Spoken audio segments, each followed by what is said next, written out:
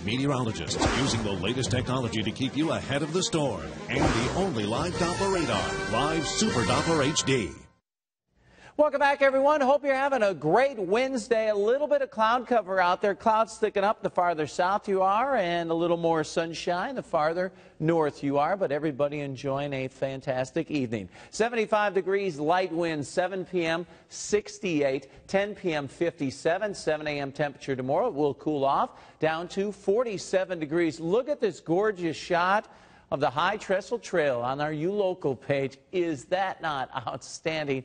Hope you get out a chance and spin on the High Trestle Trail the next uh, few days because there is some more great weather ahead. Current reading Fort Dodge, clear skies 71, a few clouds in Grimes 72, a few more clouds Centerville 75, Glidden light winds and 73. Satellite and radar, you can see these clouds, central Iowa, they're not too thick down and through Missouri. These associated with a system that's kicking up some rain down south. It's been a little bit soggy this week down in parts of Missouri, Kansas, and Illinois. A line of storms right now south of St. Louis moving through the boot heel there, and they will continue to see some wet weather down south. Unfortunately, it is not headed our way. We have a big ridge of high pressure blocking all that and keeping it south. So we will stay cool at night and mild during the daytime hours for an extended period. So here's Futurecast, timeline 11 o'clock. Notice the rain down south.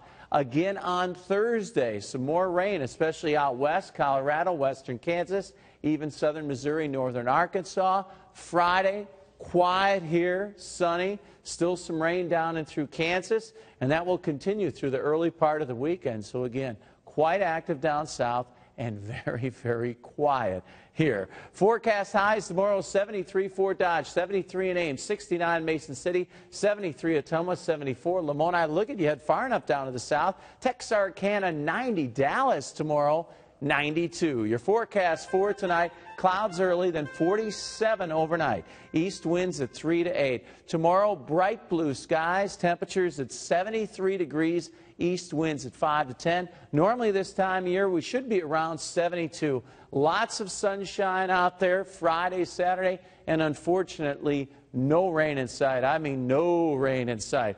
Look at this. 70s on Saturday, 70s in the next Monday. It's October, and guess what? We jump up into the 80s. So we need some rain out there, but while we're waiting for it, might as well enjoy some of the nicest weather you could ever have. What a stretch. Yeah, great weather. Soon we'll be looking back on that and just wondering and hoping. praying for yeah. it. Thanks, we Kurtis. do say thank you for that, Kurtis. And